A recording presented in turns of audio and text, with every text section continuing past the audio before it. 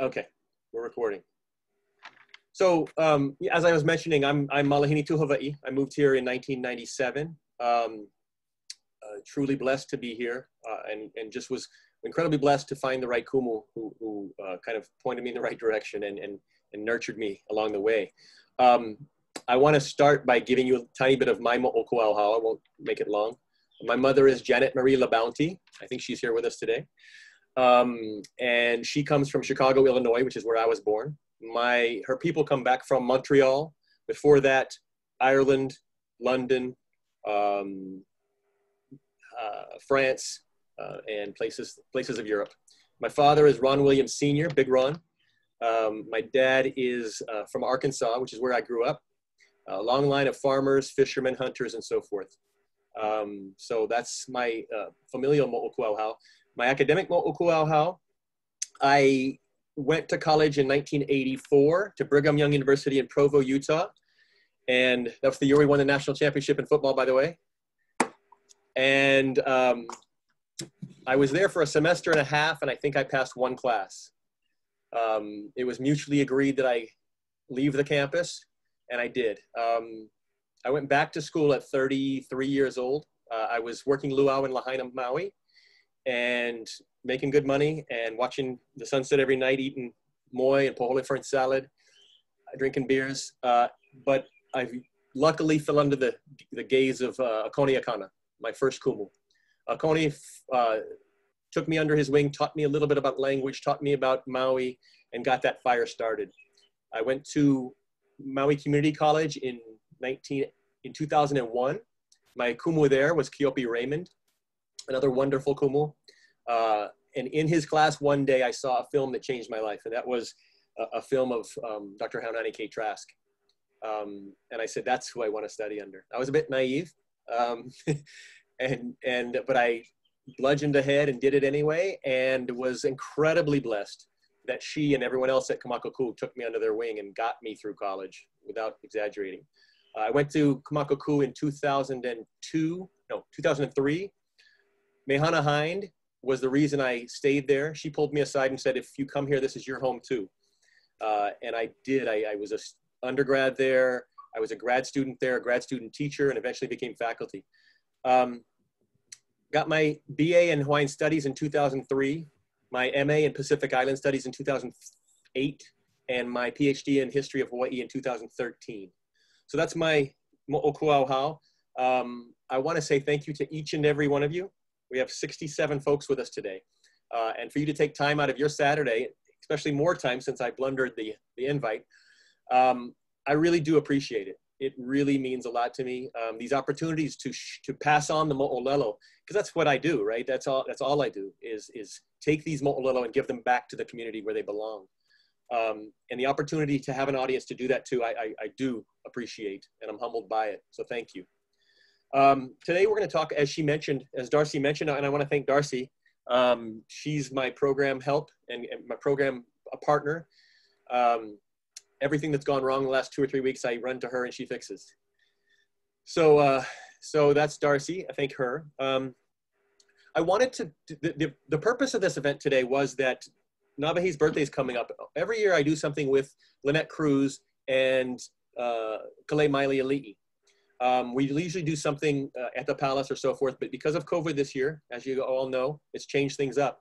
And I did just didn't want Nawahi's birthday to go by without doing something. I know they're going to do something wonderful, but I also wanted to do something and just reach out and say, does anybody else want to celebrate?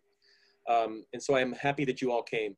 It's not going to be a biography of Nawahi. There are others who know more about him. There are others who have more kuleana than I. Uh, I want to note the, the Meyer Ohana, the, this, and other descendants of Joseph Nawahi uh, who are with us, and also um, Te Kula Kaiapuni, o Nawahi o Kalaniupu and Hilo.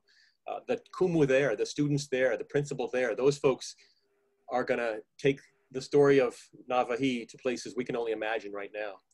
But what I wanted to do today is kind of really focus in on a particular part of his ano, and that was his patriotism. Um, I've often referred to him as in my mana'o, mana'o the greatest patriot in Hawaiian history. But that's not just my mana'o. That's the mana'o of those folks that he lived with. And so I'm going to pinpoint and highlight some of those things and things people said about him and events why I consider him an incredible Po'eloha Aina. In doing so, I'm going to bring forth some primary source records that I thought would be, be, be uh, enriching to see. Um, instead of the old black and white or this, but, but, but scans of the original, of the, of the original documents. So that'll be hopefully add to the story. Um, and again, I want to focus in on have us all think about as we go through this, what is a Po'eloha Aina? Many different uh, interpretations, and Patriot's one of them, but, but particularly for this talk, um, what is a patriot? You know, we, I'm not going to allude to anything that's going on in the news today or over the last few years. I'm going to keep it in his realm and ask, because because my idea of a Hawaiian Kingdom patriot has changed. Um, as the story of Hawaiian history gets explored and becomes more complicated and more understood, we see that Hawaiians are human. Yeah, we see that Hawaiians did this and that and so forth, and we're and and what it does often is reveal to us the extraordinary nature of some of the decisions they made. So having come through all that, I, I do come to see Nawahi as an incredible po'eloha aina. Okay, so let's get started. Um, I'm going to open up my my my PowerPoint or my uh, keynote and share it with you guys as my screen. Uh, I'm to just talk from there on through through the screen. As Darcy said, please throw in questions that you have along the way. Um, at the end, we'll answer all the questions we can. Um, if you have a question about him in particular, about history of that period or something I said, um, I'll do my best to answer it. Um, so, so as we go along, please do add questions. For me, it's the fa my favorite part because it lets me know what you guys are interested in and what, what part of that mo'olelo kind of touched you, okay? So um, you see my scan in the back here um, with fresh lay. I wanna mention that because at the end, I'm going to um, give you a uh, note about thinking for ourselves what our kuleana is moving forward. And I want to offer you resources for those who want to take this mo'olelo and run with it. Um, and one of those resources is the Hawaii State Archives. We have glass plate negative of Joseph Navahi. It's 140 years old and it's embedded in glass, which means it doesn't degrade. You can, we've, we've, the scan you see behind you is, is, you know, pretty big and it's crystal clear and that's at 600 DPI. We can scan them at 2400 DPI. So my point is, you have the opportunity to do what you'd like with this uh, these mo'olelo uh, and start claiming space on the historical narrative um, yourself. Yeah. Okay. So let's get started. Without further ado, I'm going to. Uh, oh, yes, notes about recording. um, I want to be careful about how I say this because I because I because I want to I want it understood. I want to be clear. Um, we are going to record this event Darcy and I, and we are going to post it publicly. Um, I don't always do that. And, I'm, and I don't always do that for a number of reasons that would take up way too much time here to explain, including the fact that some of the mo'olelo I get, some of the pieces I get come from folks, kupuna, others who have given me permission to use them in certain ways. Some of them come because I don't write a script for my talks. I talk story. And in my position, uh, you know, I, I, I, be, you know, I have to sometimes worry about talking for an hour and, and having it come back but but nonetheless, anyone who knows me knows that you know I put my research out there and I want people to take it and run with it. That's the purpose of meeting today. So um, you're welcome to you know I'm, I'm going to do this. This long story short, I just ask that if you do want to record something of me or anyone else, it's just it's nice to ask first. Um, I've gotten several notes that people have recorded stuff of my past talks and so forth, um, and told me later. And I just think, maybe I'm old fashioned, I just think uh, if you're going to record, um, just ask permission. As, I know it's late for this one, as I mentioned, for this one we are recording and it will be posted publicly. Okay, so that's that. Um, okay, so let's get into it. So, okay, there we go. Okay, in celebration of the birth and life of Iosepa ka ho'oluhi Navahio Kalaniopuu. Now, can I, I wonder, if I do that, you see it like that, right? You don't see it whole screen. It's not showing. Okay, yeah, because I don't, I just, I want to see somebody. but too bad. Okay, so yes, I'll note that also is that this is not my favorite forum. Um, I'm used to seeing faces and talking to people and seeing their reaction and getting energy from that. Uh, I'm a very poor presenter in this in this realm, so kalamai and, and please bear with me. Okay. So, in celebration of the birth and life of Iosepa Kaho'oluhi Navahio Kalani Pu'u, Po'eloha Aina Oya a true patriot. Okay. This um, quote from the bottom comes from the biography done by Sheldon of him, and it says, urge the new students of his beloved race and nation to follow behind him and read and understand the deeds which he accomplished and to model themselves after him. Yeah. So it's this idea of looking to Nawahi as a model for our Haumana. Yeah. Okay. I want to start off, you know, I always talk about historiography when I talk, and, and, and it's crucial for me. And, and I know folks, some of you have seen this before many times, but it, if there's one person out there who hasn't, I want them to see it because the process of the creation of history. That's what historiography is. It's the process of the creation of history in Hawaii has been incredibly distorted.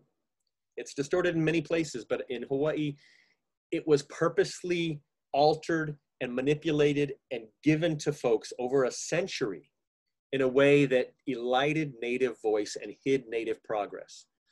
So what we've come to today is a point where we're starting you know, over the last 20 or 30 years, Kumu long before I and myself and others now and students now are starting to understand better what the Hawaiian kingdom was. And what I can say as a historian, eh, you know, with, without qualm, is the Hawaiian kingdom, 1843 to 1893, was one of the most progressive modern nations on earth. And it was respected as such. That's so much different than the narrative that I got when I, when I arrived here that the narrative that I was that, that my students got you know before they came to Kamakaku and even what we were teaching 10 years ago. So understand uh, that needs to be our starting point. The nation that Nawahi was a leader of was a progressive modern nation. So I've developed these 10 talking points um, to show people why we can say that. Okay, so I'll walk through those with you. Yes. Um, you you got to share your screen. Oh, shoot. I thought I did. Ekalamai. Okay. Ekalamai. I had it on, but it went off. Okay. Now, okay, now I need to go full screen, right? Yes. Okay. Thanks again, Darcy. So, uh, 1840, Mo'i Kauikeaouli voluntarily cedes absolute rule for the benefit of his people and nation. Now, as a historian, I don't know another instance of an absolute ruler. Think about this. Kauikeaouli was divine. If you want to talk about ownership, he owned everything. If he wanted something done, it was done. If he wanted something, it was his. And yet he gave up two thirds of that power. He created a constitutional monarchy that had three branches of power. it wasn't completely separated from him yet. It would be over the next 10 or 15 years. But nonetheless, he gives up a huge chunk of his power for the purpose of gaining recognition to save the independence of his nation. He was prescient and brilliant. European nations were taking over the Pacific right and left, and he knew Hawaii was next, no question. There's no question in my mind, had he not done what he did, Hawaii would have been occupied by the 1850s, maybe 60s. But he, but he voluntarily gives up two thirds of his power to create a nation he's hoping will gain recognition from the world and be protected. 1840. 1840, that constitutional monarchy he, cre- he creates has a female Supreme Court justice member in 1840. That's 141 years prior to the first US Supreme Court female justice, Sandra Day O'Connor. Yeah, 140 years prior to this breakthrough in the United States, the Hawaiian Kingdom had a female Supreme Court justice. Yeah. 1843. And, and also, Hawaiian governors of the islands, Hawaiian noble women, and so forth in the 1840s and 50s, long before they became so, so forth in the United States. 1843, that Hawaiian kingdom becomes the first nation in the Pacific and the first non-European born nation in the world to achieve international recognition as a sovereign and independent nation. We're hearing that story more and more because of La Kuakoa and so forth, but think about that. How many Haumana in Tennessee know that fact that Hawaii was the first non European born nation in the world to achieve recognition and co equal status with France and England and Ireland and Russia and Spain and so forth. 1843.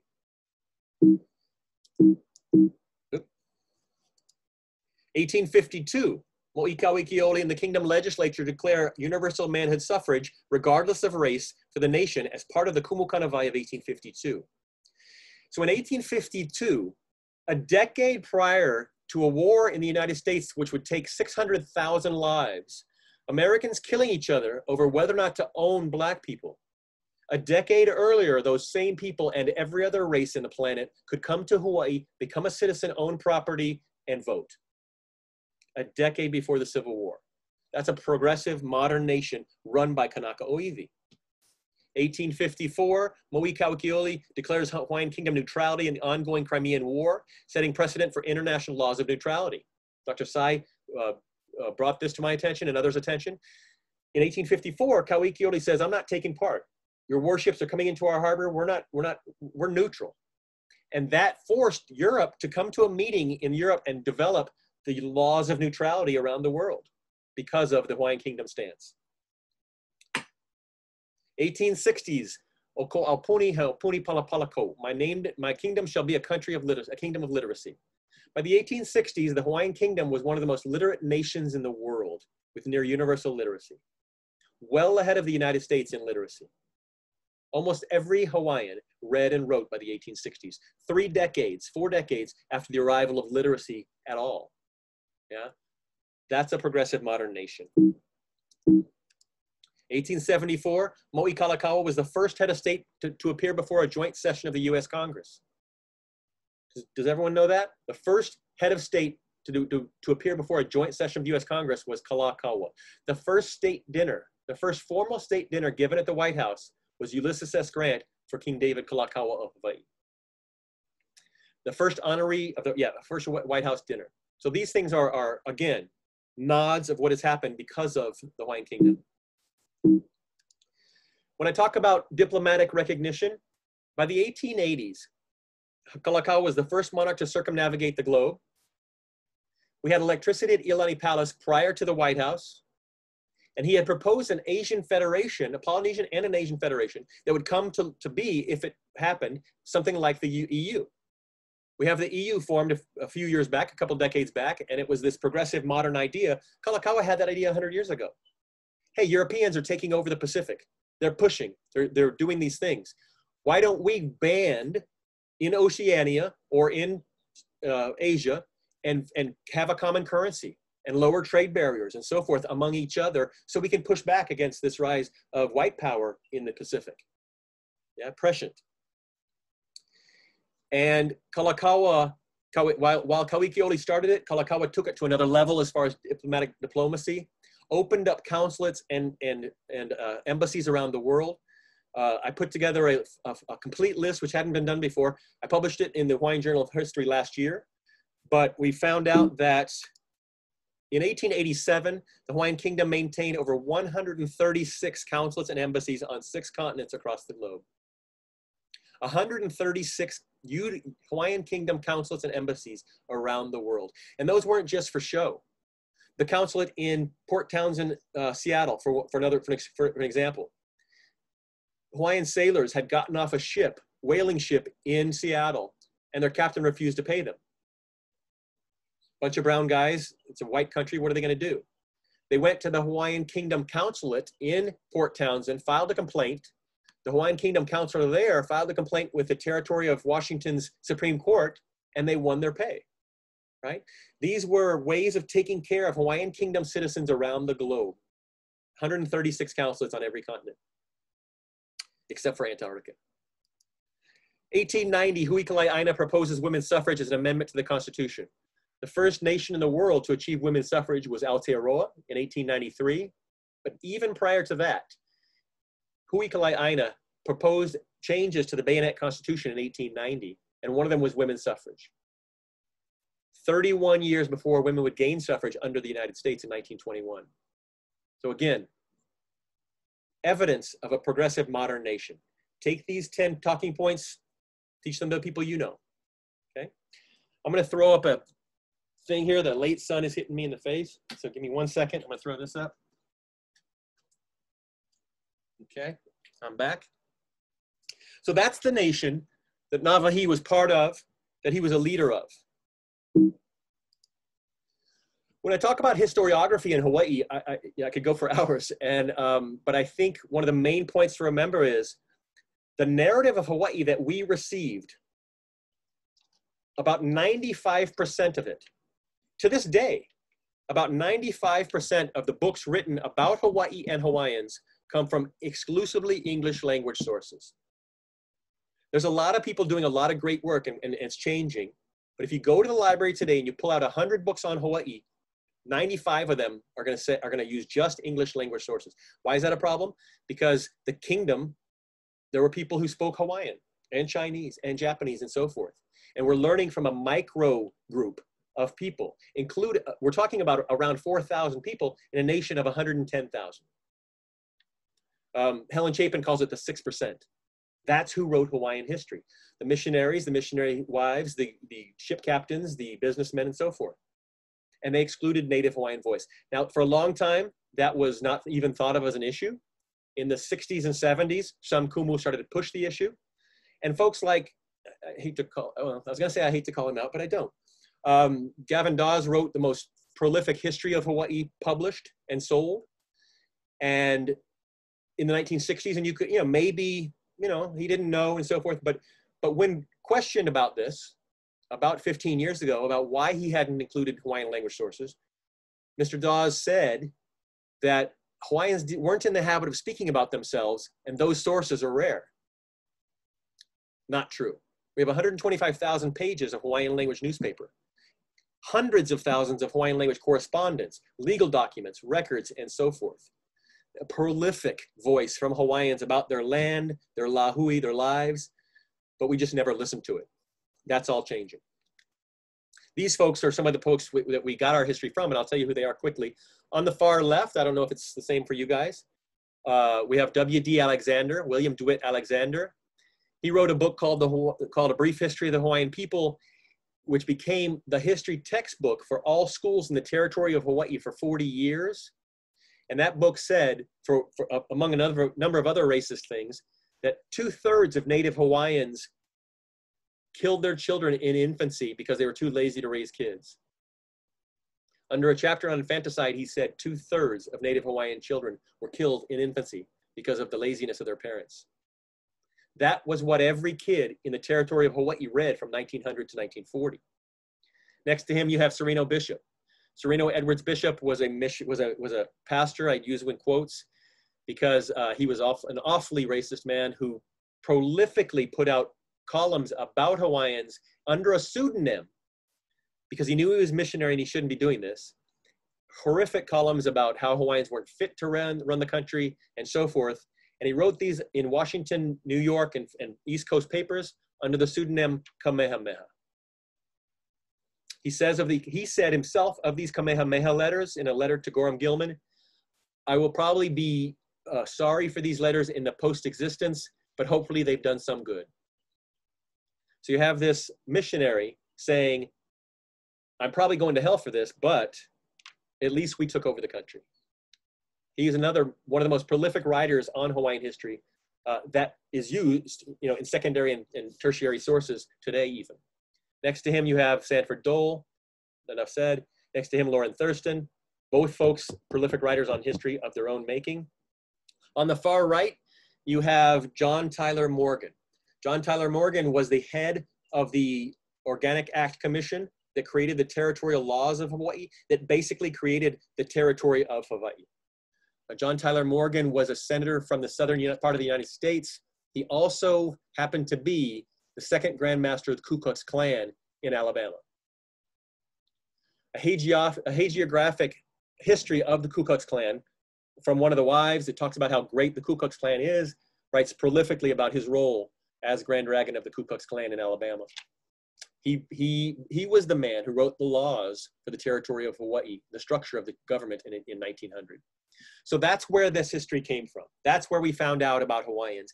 That's where we get the narrative by the 1940s and 50s that Hawaiians aren't capable, that they're civil servants only, that they're lazy, they're not good in school. That's what, you know, that's what comes out of that incredible nation that we had mentioned earlier because of this cover. Yeah? Okay. The power of claiming space. So when we talk about Navahi, we're going to talk about not just hearing and learning, but doing.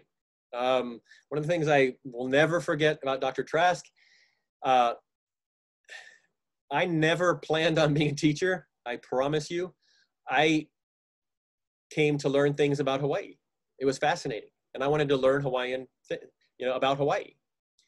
Uh, and I finished my bachelor's degree. I went home to Maui, um, went through a divorce, got custody of my daughter, and was done. I had ten dollars to my name. And Dr. Trask called me and said, "You're coming back to school, grad school." And I said, "No, I, I have no money. I have no nothing." She says, "No, you're coming back. You don't get to learn and walk away. You learn and you have kuleana to teach."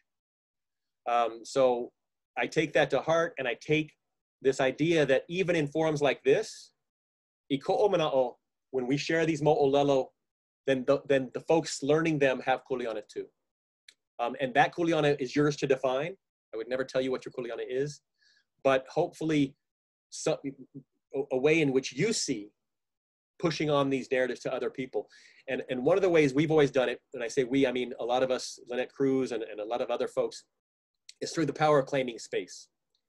Um, physical space and mental space.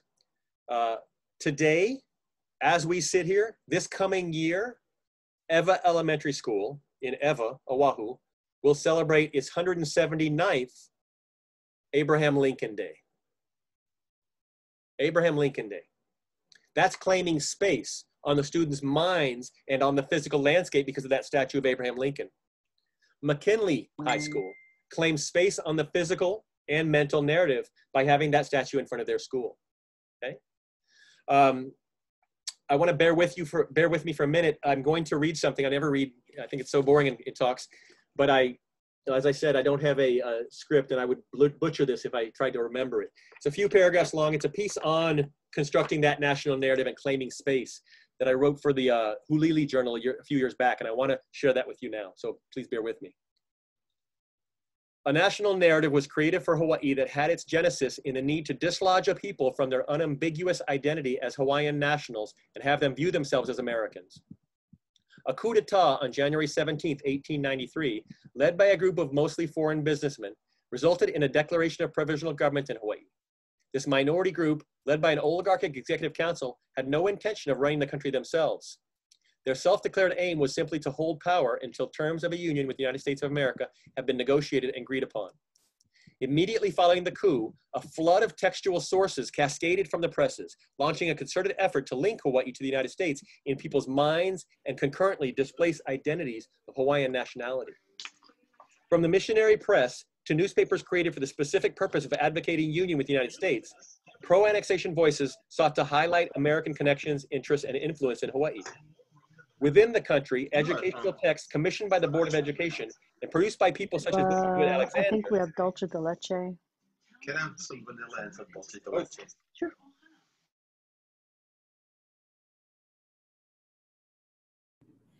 Hello, Mike. Um, Ron, you need to unmute yourself.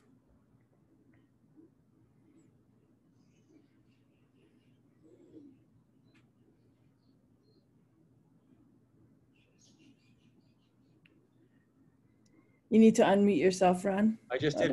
How long have I been muted? Oh, just for a sec. Oh, there okay. was talking, so I had to un- I had to mute everybody. Oh, okay. Okay, so sorry. Um, here we are. Okay. So,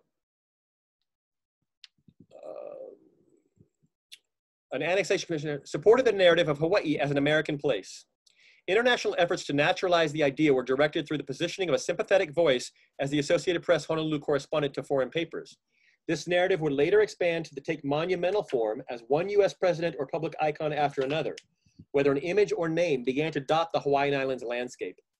In 1907, Honolulu High School on Oahu was renamed President William McKinley High in memoriam to the former US leader.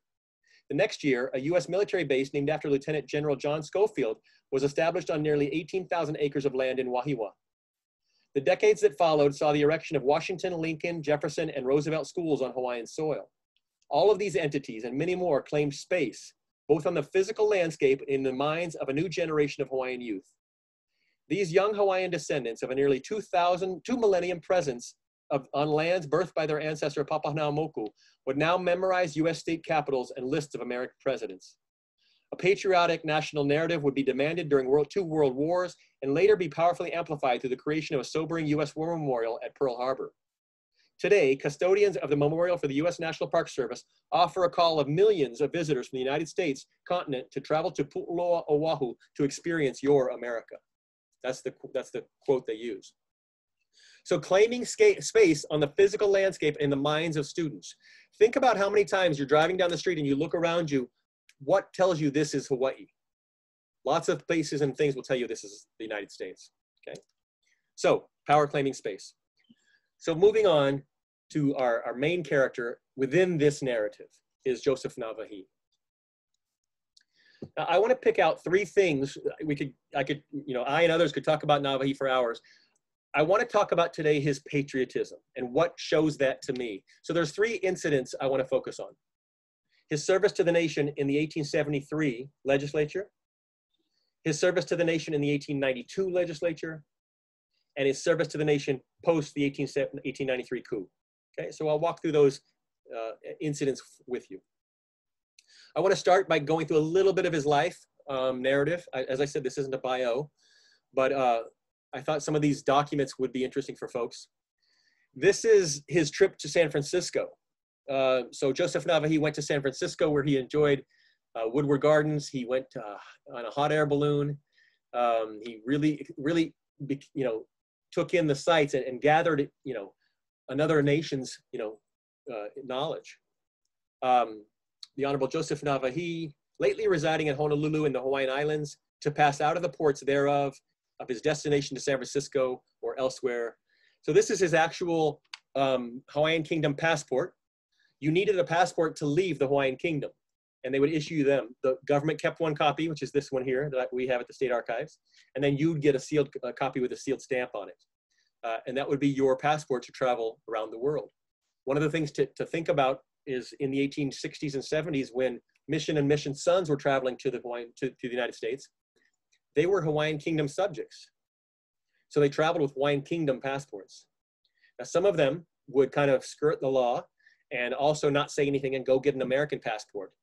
The idea of dual citizenship, people talk about a lot, but it was something that wasn't recognized uh, isn't recognized, or what, I'm sorry, wasn't recognized by the United States at, at that time and into the 1890s.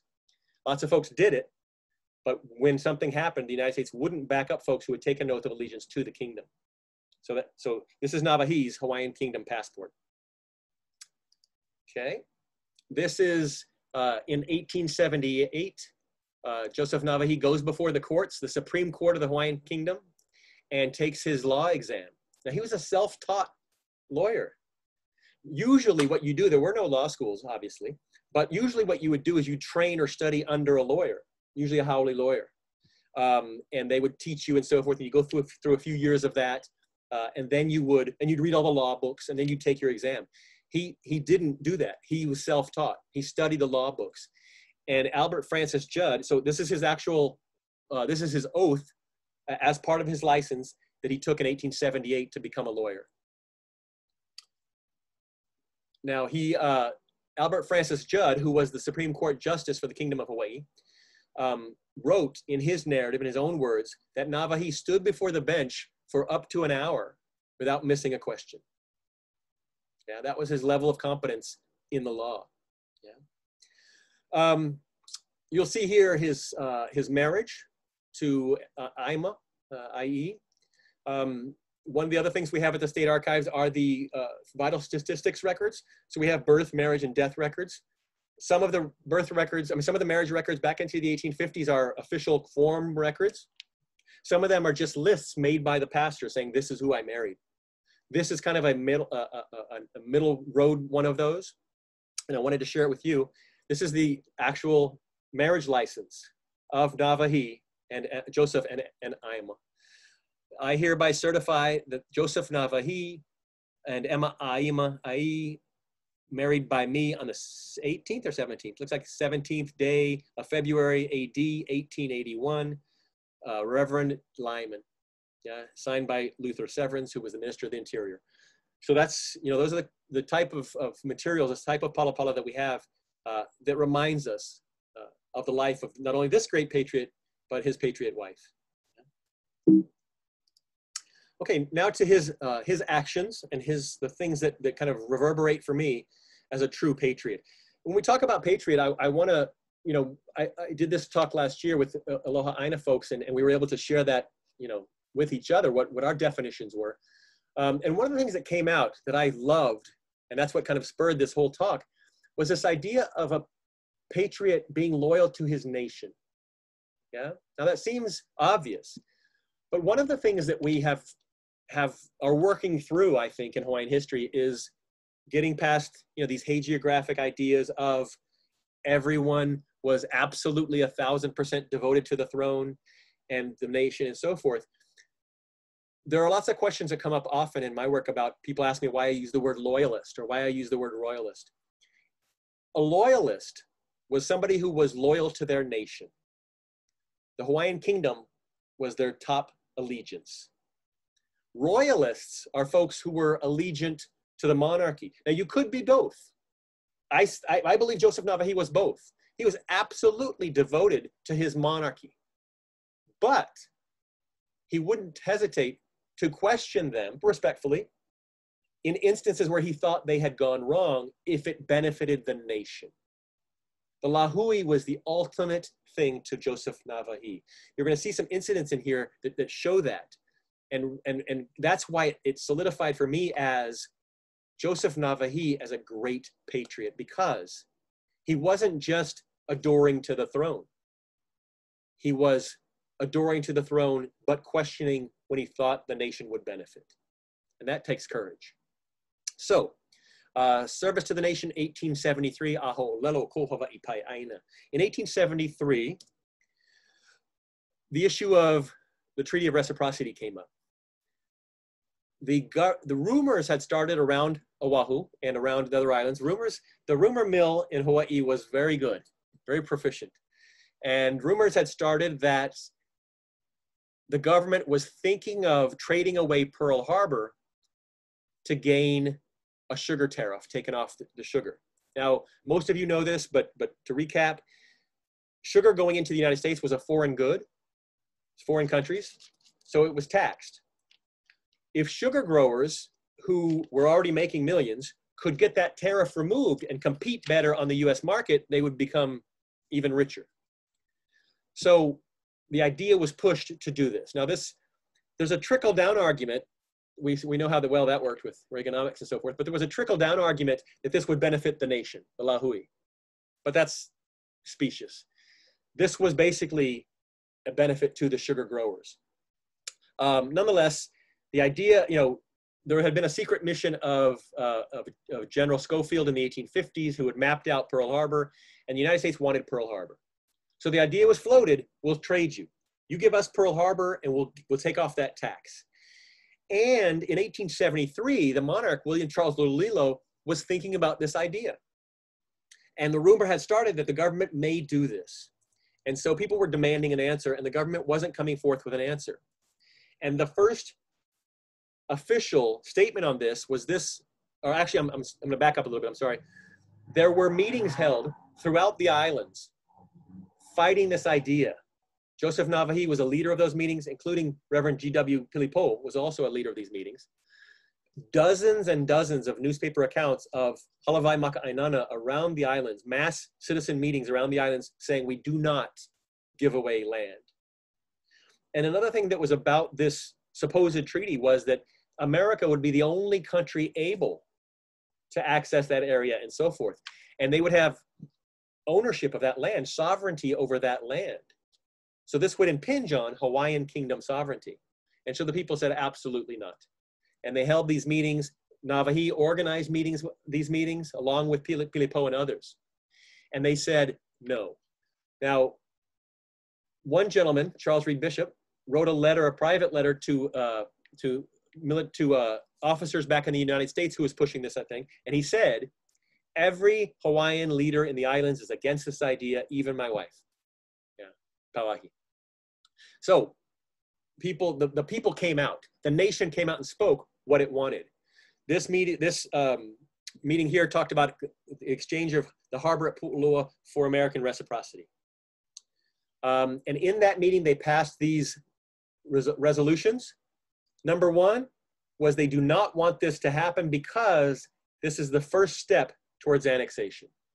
Giving away Pearl Harbor is the first step towards annexation. And not only is Nawahi pushing this idea, but many of you, most of you probably know of his famous speech in the legislature, in the 1873 legislature, where he makes this point. For those of you that don't, it's a great story. Um, Joseph Nawahi was known as an eloquent speaker, an amazing speaker, and he gets up in front of the legislature at one point and he talks about not only Pearl Harbor, but there's another policy. Now this is 73, 70, going into 74. And so we have Kalakaua as Mo'i too at this point. And he talks not only about Pearl Harbor, but also about this $5 million loan that Kalakaua is considering from other nations. And oops, and Nawahi says, this loan will put us in debt and endanger our sovereignty. This giving away of land will endanger our sovereignty. And he says, I want to tell you a story. He said, there's an example where this has happened before. These two nations were at war in a battle and it was these two grand nations butting heads and fighting and going to war. And the war seemed to be a stalemate, and neither side could take precedence. And they battled and they battled and they battled. And there was a break in the fighting. And one of the nations said, Okay, we're going to offer you a peace treaty. We'll offer you a deal. Um, and here, take this gift from us, and then we can move on past this battle. And so they gave them this great big giant wooden horse and the other nation opened the gates and let the horse in. And most of you know what happened. It was the story of the Trojan horse. So think about that. Here's Joseph Nawahi, Kanaka Oiwi in the 1874 legislature, telling his fellow legislators uh, the story of the Trojan horse to make an example about how America will step in and they won't step out. Not only was that incredibly prescient, it talks to his brilliance, to his learnedness, and to his leadership. Yeah. Okay, so we have those meetings. So in 1873, 74, he stood up. Now, and you know, I, I don't want to make examples to today. I'm, I'm not. I promise I wouldn't do that. But Joseph Nawahi stood up and said, "No, the money's not enough."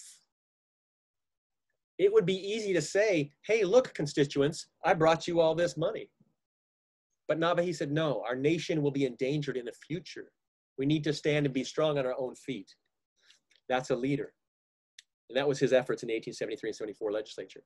Now, moving into the 1890 and 92 legislatures, Nawahi, we have the Bayonet Constitution happening in 1887, forced upon Kalakaua, illegal constitution, um, done without the legislative, legislative approval, and the, the, it removes Asians and other races from voting. Remember, Asians have had voting since 1852. So for 30 years, Hawaiian, Japanese, Chinese, and others have voted. Now they can't vote. They raise the income clause, which means many poor Hawaiians can't vote. And they're taking over the legislature. It's a horrific uh, constitution that even Albert Francis Judd said is highly flawed. So they start to push to change that constitution. So how are we going to do this? There's a couple of ways. You can just make it happen like they did, but Nawahi and the Queen later and others want to do it legally. They want to set the foundation for a legal constitution. So there's two ways you can do that. You can do that in the legislature, or you can do that with the, uh, by the Queen and the approval of the cabinet. So they say, we're going to try this route first. So Nawahi and William Ponoho Aveoveo Ulokalani White, senator from Lahaina, are the two main proponents of a constitutional convention that will draft a new constitution making fair rights for all. And they'll get rid of the Bayonet Constitution. And Nawahi pushes that, and White pushed that in the legislature. And here's their examples. Another path to justice is the Kekumu Kanawai Ho. This is a scan of the actual petition that came in from Hilo through Nawahi for a new constitution.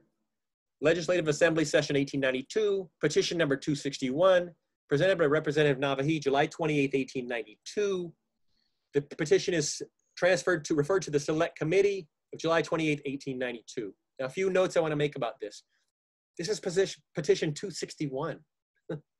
We talk about Hawaiian voice and we talk about Hawaiian engagement. Now, it wasn't only Hawaiians petitioning, but a, a majority of these petitions were coming in from Hawaiians. That one session of the legislature in 1892 had over 300 petitions. And talk about a government that listened or, or at least was accessible to its people. Every single petition that came in had to be referred, had to be read on the legislative floor and referred to a legislative committee. Today, if you send an email to the governor, what do you think happens to it? In the kingdom, every petition that came in from the people was sent to committee and was talked about with the committee and voted on. And then if it passed, it would go to the General Assembly and so forth. So Nawahi brings this petition from the people of Hilo in 1892. Oop. This is the actual petition. Sorry for the poor quality of the photo, but you can, once again, you can go into the state archives and, and view this original petition. So this is from 1892 from Hilo Hilo Hema, South Hilo, yeah? Um, and these are the names. Many of you I know will, will want to look at this and see if you have family name here. Um, but this is engagement. This is engagement in governance in Nawahi through Yosepa Nawahi, right? That's the first one. A second petition, number 262, bring, brought in the same day by Nawahi. And here are, here's that petition from South Hilo also. I'll leave it up there for a second so folks can check out names. Ke'aukai, Kahana, yeah. okay. Third petition, brought in by Nawahi on August the 6th for a new constitution. Petition number 305. Oop. Petition number 305. Yeah, these are three of seven petitions that, come, that Joseph Nawahi brought to the Hawaiian Kingdom Legislature in the 1892 session demanding a new constitutional convention. Now, because of the vote, because of that um, loss of power within the legislature because of the Bayonet Constitution, they couldn't quite get enough votes to, to pass a constitutional convention. Yeah, they needed a two-thirds vote because of because of uh, uh, because of the the, the uh, cabinet could override. So they couldn't quite get enough votes to have a constitutional convention. So this effort didn't work out for a new constitution. But Nawahi and William White had pushed it prolifically in the legislature. Okay so because of that um, push in the Hawaiian Kingdom legislature, um, Nawahi and William White, because it failed, the two of them go to the Queen and start talking to the Queen about another avenue is for you to declare a constitution and have the cabinet approve it. And that will be a valid constitution, right? Now, this is a story that isn't quite told, and it's one of those ones that's, that's a complicated part of that narrative that needs to be understood uh, we we we mahalo Liliuokalani for that constitution, but she herself writes in her biography that she was reticent, reticent to do so when William White and Joseph Nawahi brought her the idea. Maybe it's not quite time. Maybe we can't do this. And she says, it was William White and Joseph Nawahi who convinced me that it was possible. And so they visit with the queen again and again and again. And they say, the voice of the people say, get rid of this awful constitution and bring our rights back to us as Kanaka Oiwi. And they sit with her and they draft a, a, new constitution. The queen says the main drafters of that constitution were William Punahou White, Joseph Nawahi, and Sam Nolan. And so on the 14th of January, 1893, she's set to proclaim this new constitution, to bring power back to the people. There's 7,000 people on the lawn of Iolani Palace gathered to hear for once for for once in the past seven years their, their power is going to be brought back to them. They're in their sunday best they're ready. She's prolonging the legislature across the street. She's going to prolong the legislature. Hui Kalai'aina the hawaiian patriotic group is has the constitution there. John alapa'i is the leader and he's going to bring it across for her to sign in the blue room of the palace but the first thing she does that morning in the palace is she meets with joseph nawahi and william punahou white and she crowns them Knight's Order of Kalakaua, the highest award in the kingdom. And she does that, she says, in her own words, January 14th, 10 a.m., Rumi Bolu, Kahaliali'i, the blue room of the, of the Haliali'i, Iolani Palace. That's a quick photo I took of the actual, not, not Nawahi's actual award, but one like it. Yeah. That's a Knight's Order of Kalakaua that he and William White received for their work on the Constitution. And the Queen says, Mr. William White had, had maintained, oh, she says, Joseph Nawahi, along with William White, had, had maintained a strict fidelity to the wishes of the people by whom he had been elected. The behavior of these two patriots during the trying scenes of this session, in such marked contrast to that of many others, won them profound respect. They could not, they could never be induced to compromise principles, nor did they for one minute falter or hesitate in advocating boldly a new constitution which should accord equal rights to the Hawaiians, as well as protect the interests of the foreigners. The true patriotism and love of country of these men had been recognized by me, and I had decorated them with a Knights Commander of Kalakaua. So Queen Liliuokalani says these two gentlemen separated themselves from everyone else in that legislature as patriots as people who could not be compromised. So we're starting to understand his role as one of, if not the greatest patriots of that Hawaiian kingdom. And again, there's many, many, many more stories. Last one I want to focus on, the third one I want to focus on is his service in Aloha Aina and his service as a voice of the people. Ka'ahui Hawaii Aloha Aina was founded in 1893 in response to the uh, 1893 coup, a courageous leader of the people. Founded on the 4th of March, 1893 at Arion Hall, across the street from the palace today where the post office is, but on the Diamond Head side, on, on the um, Leahi side, right on the corner there, uh, was the Opera House. Just behind the Opera House was a hall called Arion Hall. That's where the men met on the 4th of March, 1893, led by Joseph Nawahi, and founded Ka'ahui Hawaii Aloha Aina patriotic group. Yeah, this is a photograph of the group a little bit later as they petition Blount to listen to them. Nawahi is there just to the my left, his right of John Cummins with the fabulous uh, beard. Uh, Mr. Cummins was the honorary president in my mana'o. That was because, well, honorary president is like a board member. So your job is to, to raise funds. And Mr. Cummins had plenty of funds and lots of, lots of wealthy friends. Um, so uh, now he was the practical leader. He was the president uh, and he's there. These gentlemen were the leaders of this group that came to become, oh, actually, I'll save that for this slide.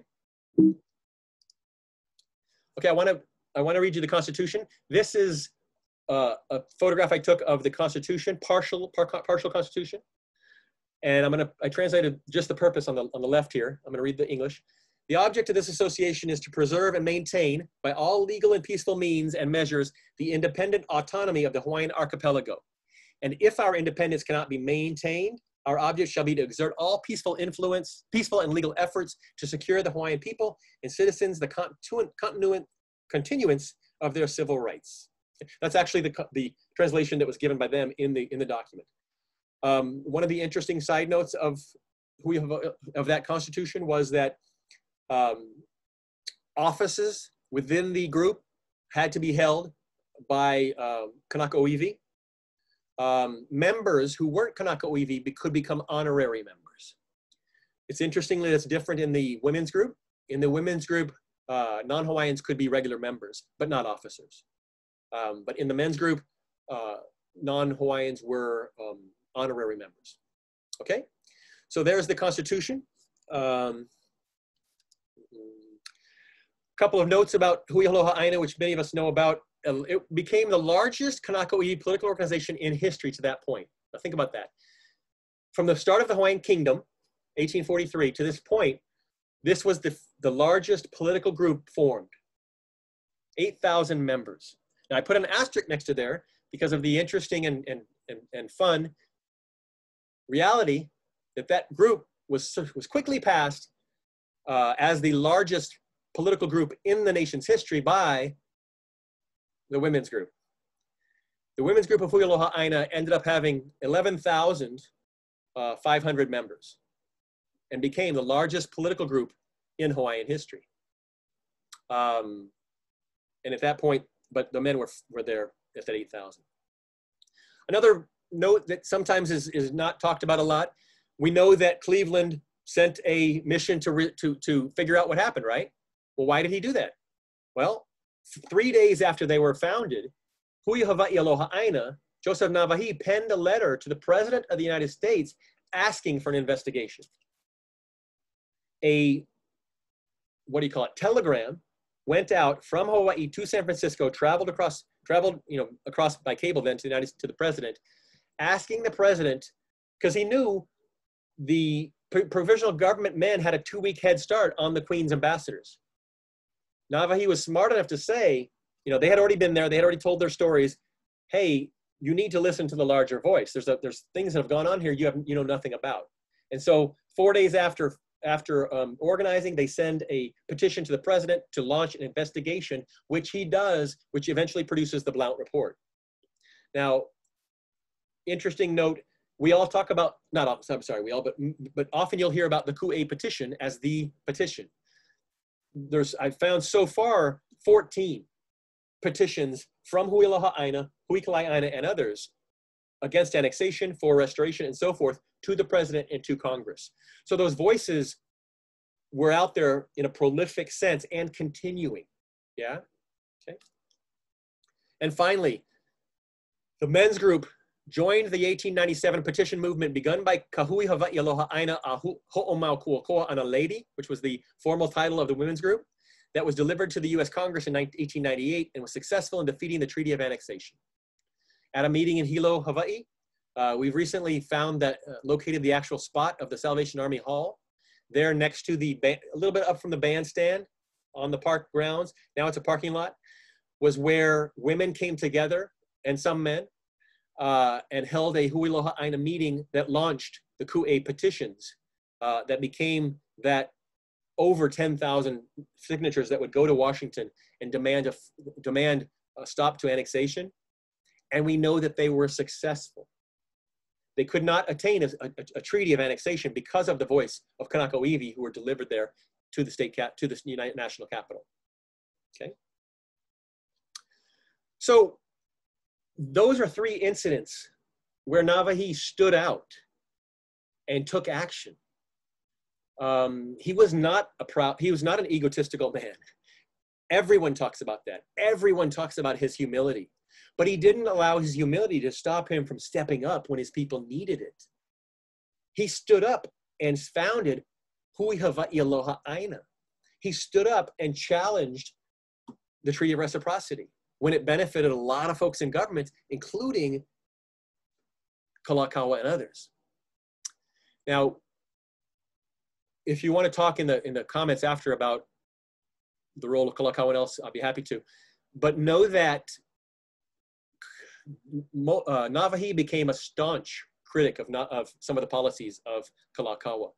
I ran into a archivist, I ran into a researcher a few years back from Harvard who was in uh, Hawaiian mission houses.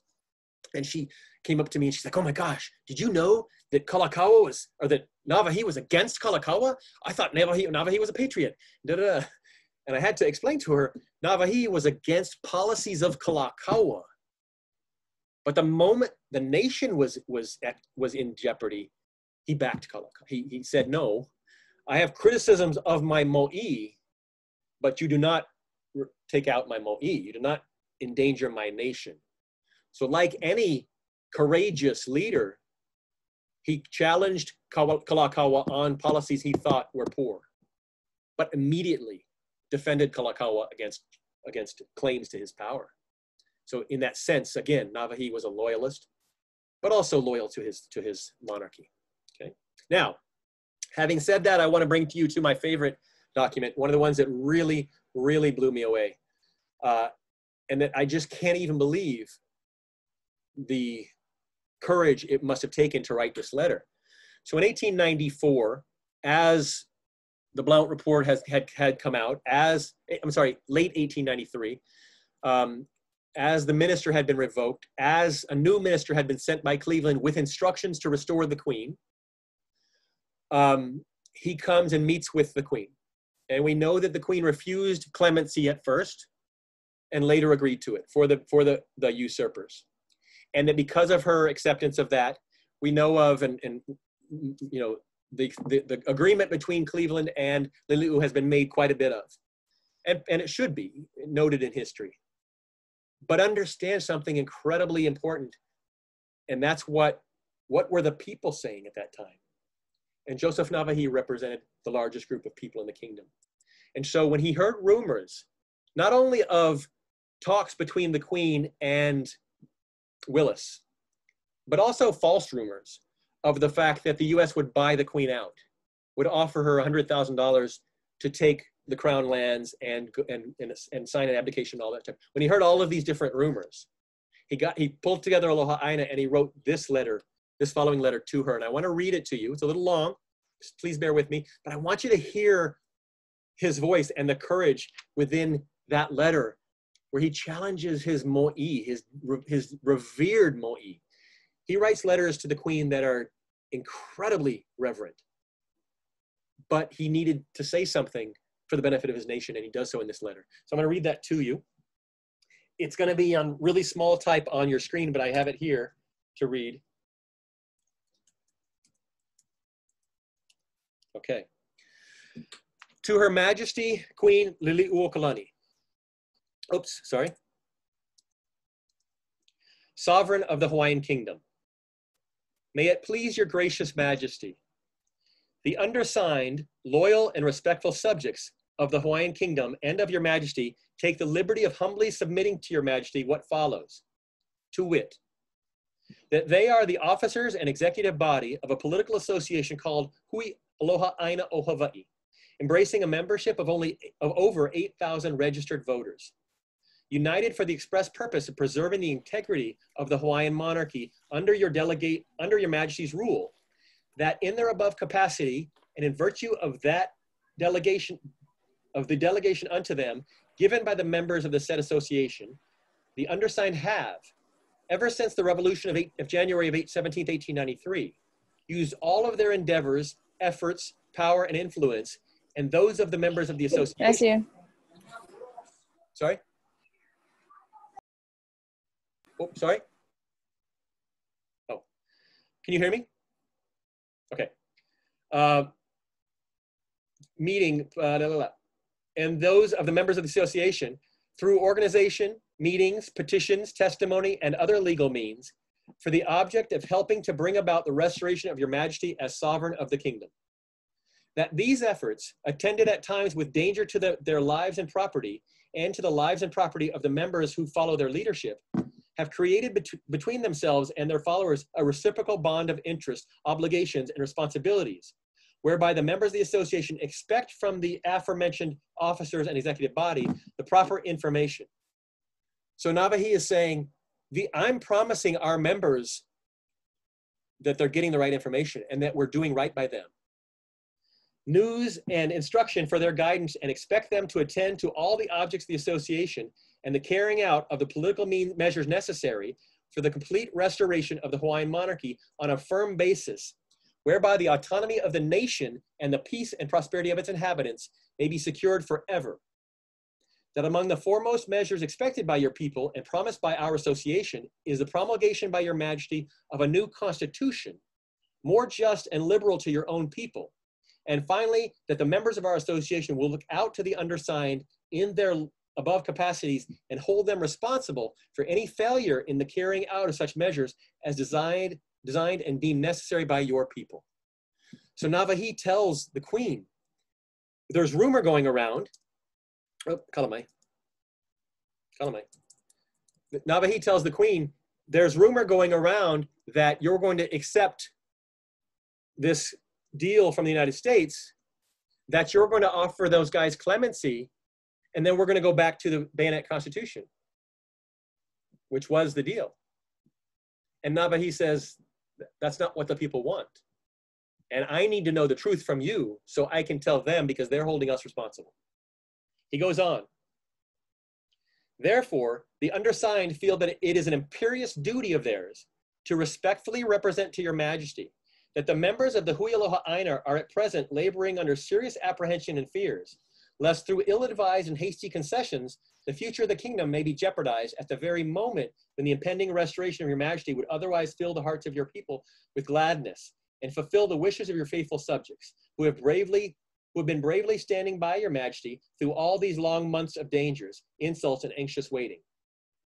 it has been announced by the local papers and not contradicted that Minister Willis, after negotiating with your majesty personally and secretly, without the advice or any real of any real representative of your people, has requested the provisional government to surrender on condition of your majesty promising to respect the old bayonet constitution of 1887 and agreeing to grant the rebels who have attempted to sell the country a full political amnesty.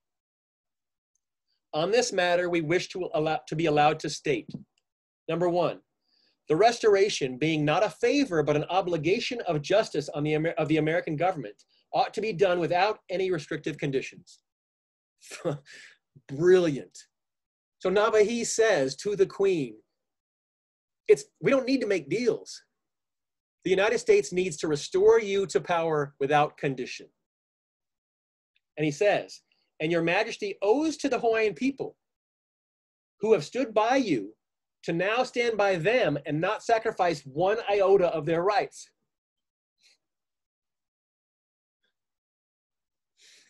Kalamai. Kalamai.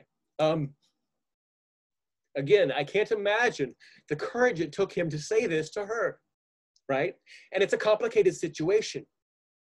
Nobody's blaming her, but he's speaking for the he's he's speaking the voice of the people to the queen, and he says,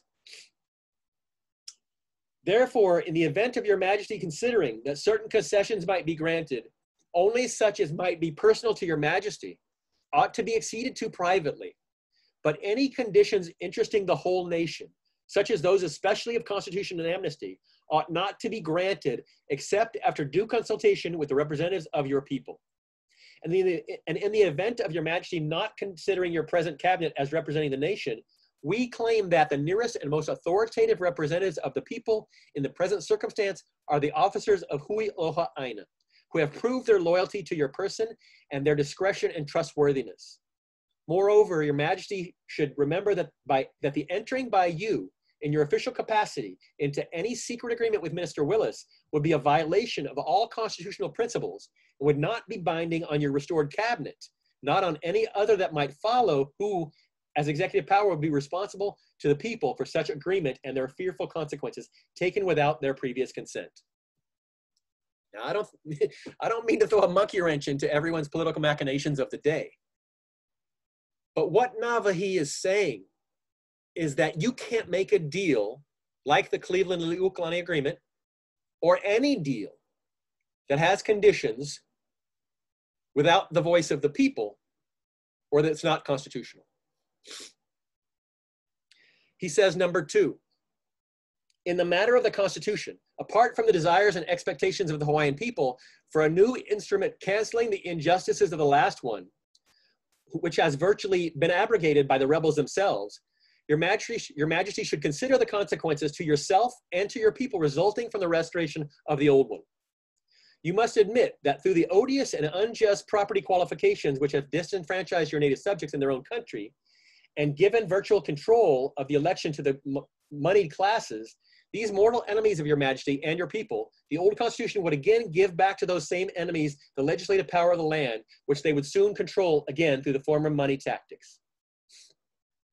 He says, number three, the question of amnesty is equally dangerous and gets more so when combined with the constitutional one since this would confirm to all the present rebels and enemies of our autonomy all their civil rights of electing and being elected and of governing. And it is useless for us to state to your majesty how the better and unprincipled bitter and unprincipled rebels would use these rights to seal your fate and that of your people. In fact, with such an amnesty, together with keeping the old constitution, our members consider that the country would be worse off than it is now, and that past troubles would be sure to repeat themselves in a very short while. By your majesty conceding these two points, if the rumor be correct, you are therefore virtually surrendering yourself and your people to the enemy. And this is sufficient to justify our alarm and the misbodings of our association. But these sentiments of ours are further increased, further increased if we give credence to the rumor that these untimely and ruinous concessions on which the Hui Aloha Aina have not been consulted have been counseled to your majesty by certain unrepresentative advisors whom your majesty well knows are disliked mistrusted, and feared, for very good reason, by all your loyal subjects. These advisors have done nothing for your majesty in the past crisis but cheap talk, while your majesty's strength lies in the fight made by you for you by the Hui Aloha Aina. If your majesty is willing to run personally the dangers we allude to, it is the duty we owe to ourselves and to our families to protest and ask that at least you may not jeopardize the nation's interest and future and nullify the efforts we have made to save our country from the pirates who have seized it. The undersigned hope your majesty will excuse this plain talk, but as they claim to have proven that none are more loyal and faithful subjects than me, than them, they respectfully think that they are entitled to the favor of expressing before your majesty the opinions of, the, of their followers and to a right also of being awarded some proof of confidence and trust.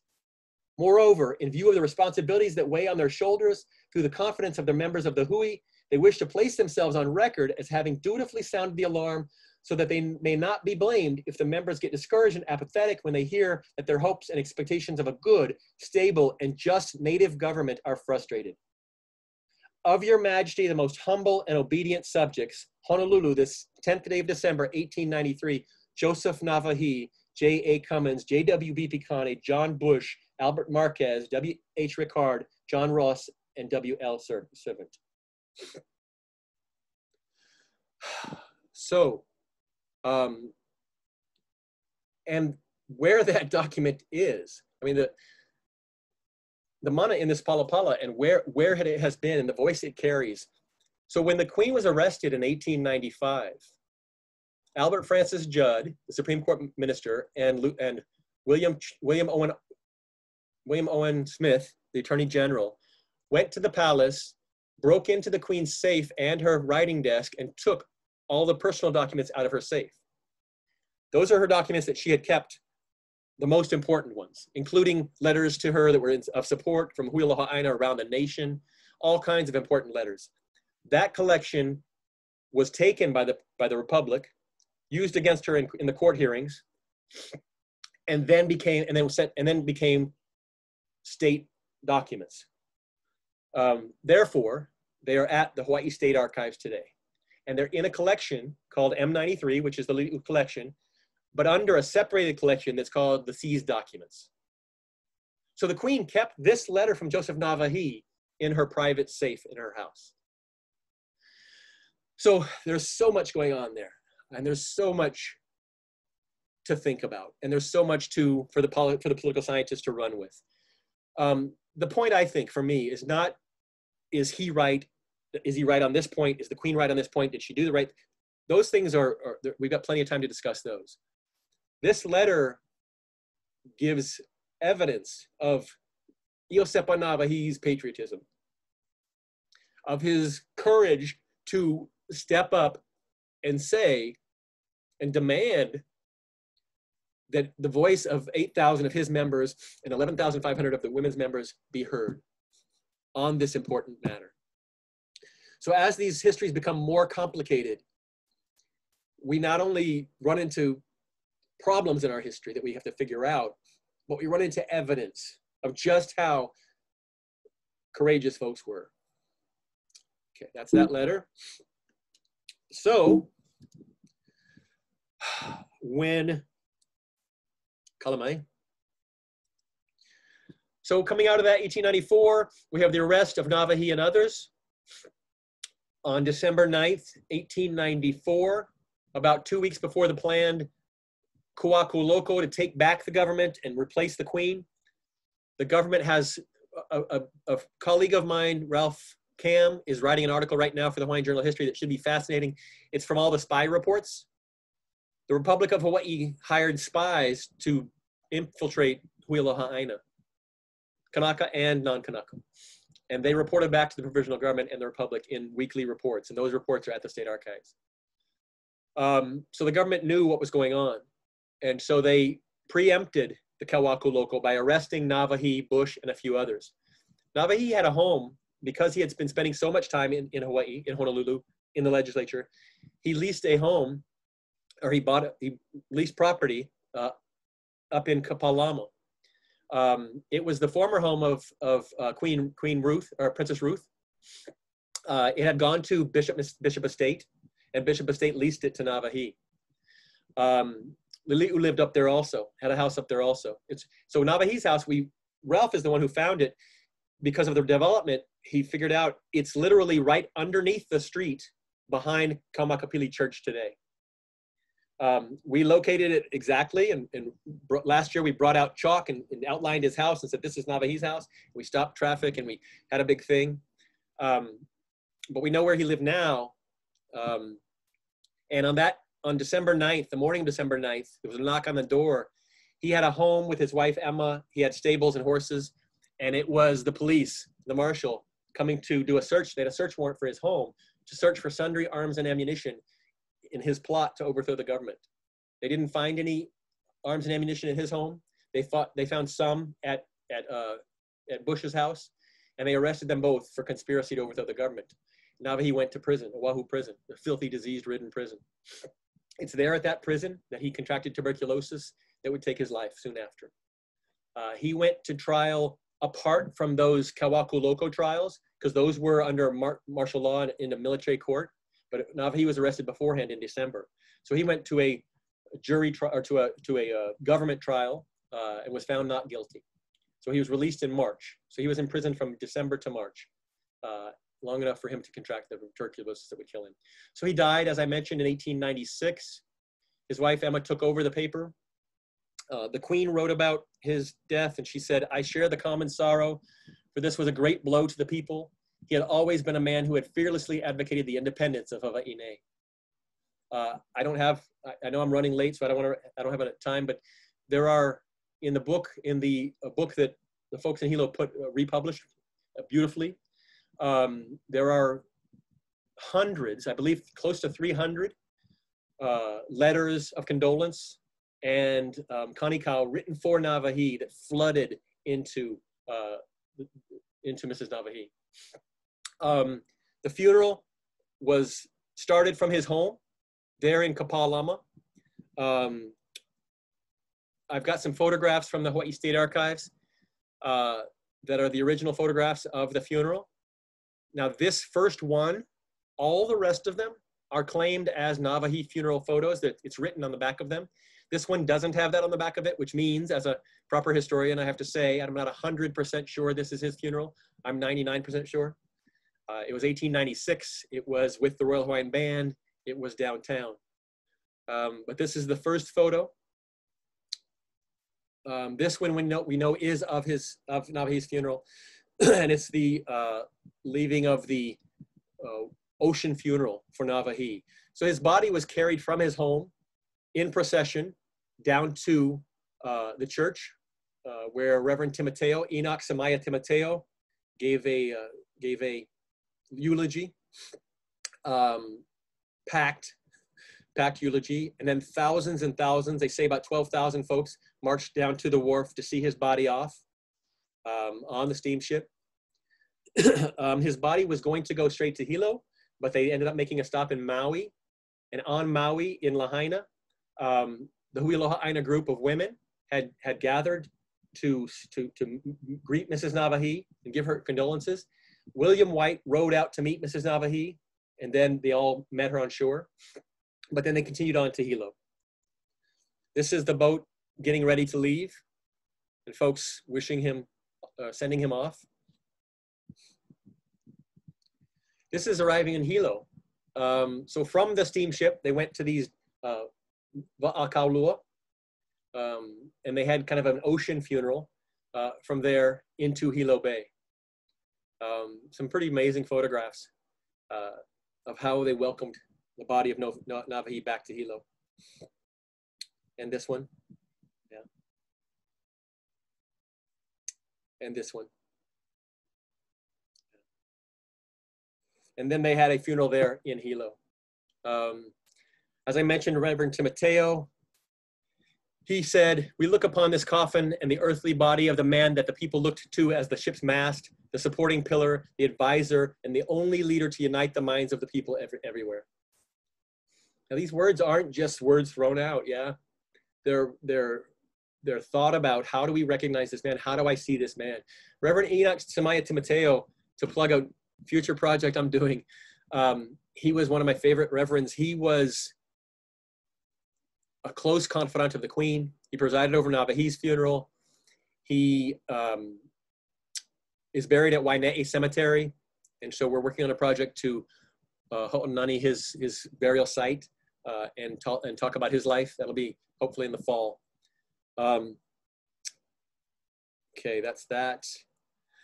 So finishing up, uh, historiography in Hawaii. So now that we've got an idea, a small idea, as I mentioned, talk to the folks in Hilo, talk to the folks at the school, talk to your Kumu. There, there are folks that have hundreds of other stories. We start, we, we, we start to understand his place in history, right? There's no question. He was one of the greatest leaders of this nation. So where does he stand? Where do we see him? When do we hear about him? Is his presence in Hawaii the same as the presence of George Washington in the United States? So we start to ask ourselves why, we know why, but we also start to ask ourselves the question of what can we do about it? What's our kuleana? And again, I'm not going to tell you your kuleana, but I want to encourage you that you do have power to make a change. You can change that narrative, the historiography of Hawaii in Hawaii Let's look at that. Go back to, oh, I didn't tell you, did I skip that one? Okay, bear with me. I skipped a couple of slides that are important at the opening. and they would have made my finish much better, but we'll go back to them. Okay. So in that biography of Nawahi, oh, they're missing? Oh, go back, go back.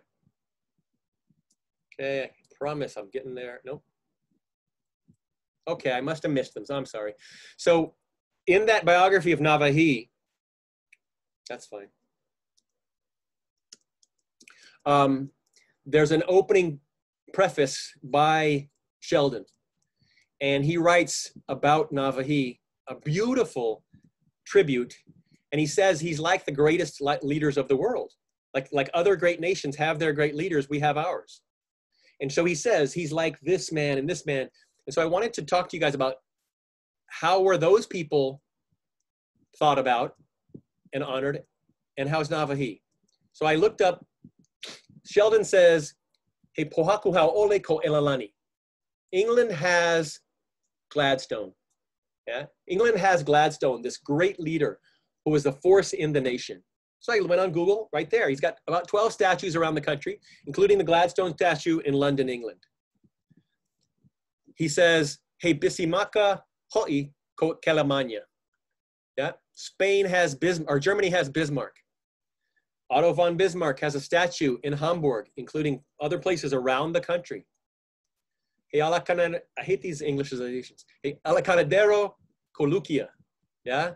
Russia has Alexander. Alexander III has prolific statues around Russia. Hey, Garibaldi Coitalia. Rome, Italy has that statue of Garibaldi. Hey, Colombo Busso Cosepania. Columbus in Barcelona, Spain. Washington, Washingtona, Ko Amalia. Washington, D.C. has the frickin' Washington Monument. Hey, ahe Nawahi hoi, ko Hawaii. But we have no monuments. Um, we have a 40 foot bronze statue of President McKinley in downtown Honolulu. We have the Kamehameha statue that we're all rightfully very proud of. But how do these other nations honor their leaders and how do we? Um, and so I want you to think about this. I mentioned earlier that this coming year, Ewa Elementary School would have their 179th anniversary of Abe Lincoln Day. Check out what happened just a few years ago, two years ago, the February 8th, 18, 2019 celebration uh, in Ewa of Abraham Lincoln Day where the Lincoln statue is. I'm going to play a little video for you, which means I'm going to have to open this up. And I want you to see how we honor Abe Lincoln in Hawaii. Oh, Darcy, I'm not going to have volume, am I? I'll have to do that thing again.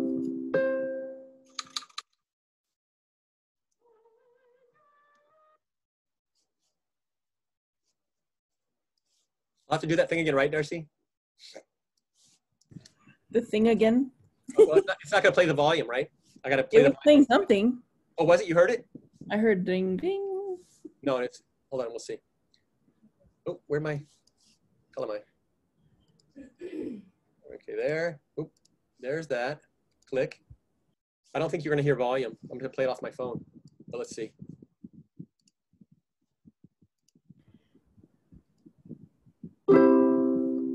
Can you hear that? Oh, okay, great.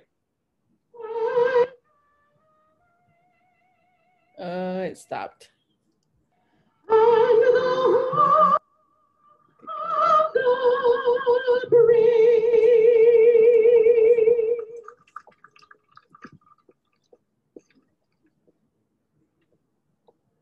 See if you can make it full screen. I'm trying. I don't know why I did that. There we go. Good morning and aloha, everyone. It's great to be here um, for the 75th annual Lincoln Day program.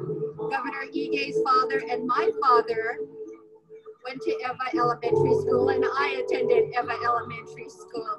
There's so many memories, so many things that we've learned that we carry through our lives. And it all started here for me at Ewa Elementary School.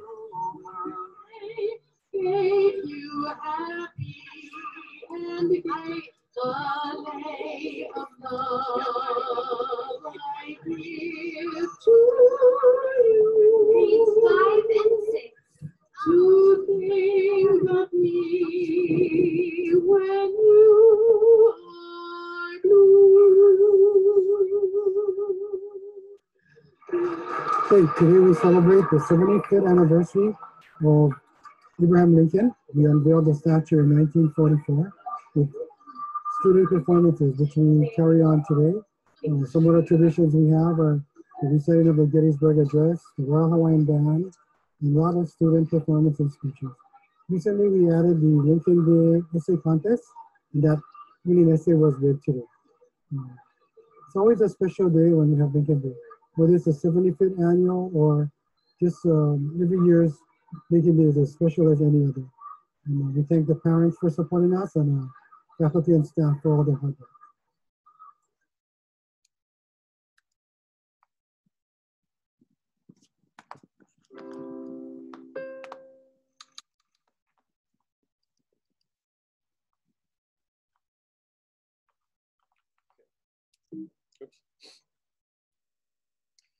So, you hear me?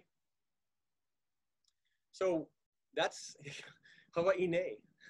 Ikiya manava. Ikamoko ewa.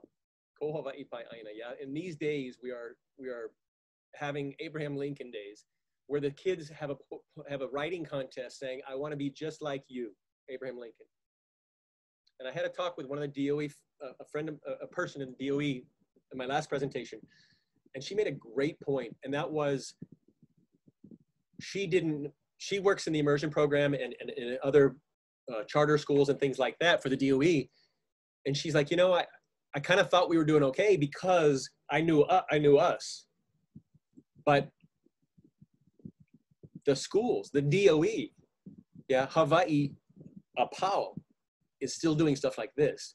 So I ask, um, you know, is it, you know, is it, you know, possible for us to uh, to to make a change? Yeah. Um, so what's our kuleana to the past? Again, what's each one of ours? There were 60 something people, 70 something people that signed on here today. We had 100 and something register. Um, what's each one of our kuleana to these mo'olelo? Each one of us can go on Facebook and bitch about the government and say, can you believe our leaders? Can you believe how they don't respect this and that and this and that? But we can also see if we can make a difference. Um, and I want to show you a couple of things. So what's that historiography going to be in 2050? So I'll close this. Actually, I'm going to go back to here. I'm going to go back to the first slide, and I promise I'm almost done. okay, can you see me? Okay, so um, you're the people out there that I, I saw some of the people on here we have brilliance here brilliance here and we have folks that are working themselves to the bone darcy's one of them um, all of us are, are making effort and, and, and people are creating incredible things. We need the mat. We need, we need folks around Hawaii to, to, to, to figure out what they want to do, what they can do. Um, one thing you can do, I'll give you a couple of examples, and, and I know folks can run with ideas. As I mentioned, any of the resources that are in this talk um, that you're welcome to use. If you want, you know, you know anything else in that in that realm, uh, coming to the state archives, we can help you out. Um, the Poialoha Aina cards I want to mention because um, I, I still have those going. Many of you may have known about this project, but it was just an effort to get primary source materials into classrooms without jumping a thousand hurdles, without getting permission from principals and the DOE and all that stuff. And I thought if I just make stuff and, and ask the teachers if they want it, teachers will get it in the classroom if they want to. And it worked out. Um, the Lahui stepped up and, and, and supported the program. I've had people from hundreds of people send me $10 checks, $50 checks, $10, $5 checks, $2, you know, hand, here you go. And I was able to produce the cards. Now the cards are 10 Poialoha Aina, including Joseph Nawahi and Emma, with primary resource research on the back, um, material from my research over the last whatever 10 15 years uh, and and allusion to primary sources. And i wanted them physical because i wanted students to have them to own them. These aren't for the teachers. The teachers get a pack. But if you have a class of 30 i'll send you 30 packs plus yours 32 packs um, and they're absolutely free i didn't want there to be any impediments to getting this information to the students and so my goal was 10,000 cards into the classroom um, and last year we blew past 10,000. And so I changed my goal to 50,000. And at the end of this year, just this year's end, I did the final counting. We're, the project's still going, but we've put 47,000 native Hawaiian hero cards into 75 classrooms around Hawaii. And it hasn't cost, uh, you know, teachers a dime. It's only, you know, it's, it's been a, it's been forced, it's been sourced from the people. Um, I have thousands left. Plans for, for next year are uh, we're putting out a Hawaiian language version in March probably, and then we're hitting 10 more Patriots. Um, folks like, that I have now are folks like Abigail, Abigail Campbell, Timoteo Ha'alilio, Kahaleli, uh, Campbell, her husband, John Campbell, Mrs. Prendergast, John Henry Wise, and Mrs. Emma Nakuina. And we'll do 10 more. And we'll continue to give our Haumana opportunities to find people they admire. Um, there's thousands of people like that out there. And so on our big scale, Joseph Nawahi, let's get him into everywhere. Another example, um, that glass plate negative is, is public property. Everything at the State Archives is. So it, when you come in, if you want a digital version of that glass plate negative in high resolution, it costs you a grand total of 25 cents. And if you want if you want a scan of something we haven't scanned yet, then we charge. I think the I think the charge is ten dollars.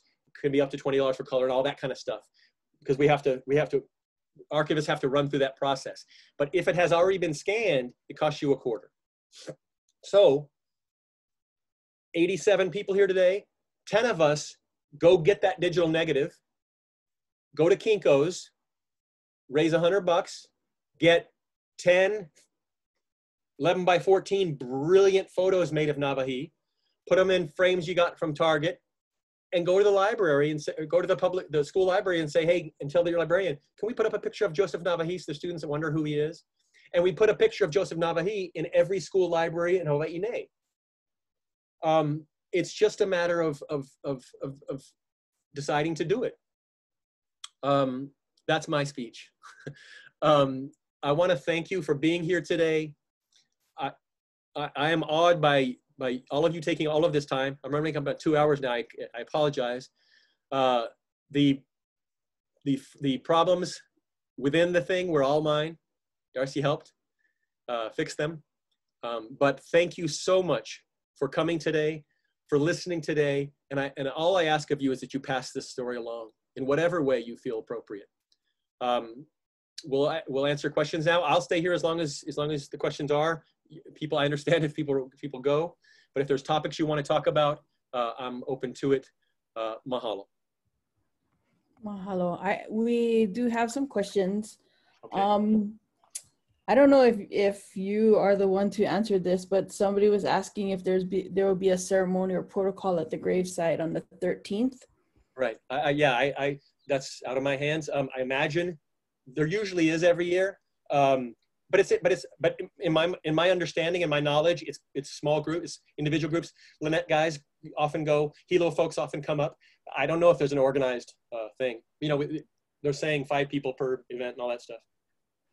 The other one, um, Paani's asking if you know where Nawahi's medal is, the Order of Kalakaua one. Great question. I, I don't. I don't, and that's um, that's something that you know. Uh, if the Ohana knows and, and want to talk about, that's their Kuleana. But but you know, I but I personally don't know.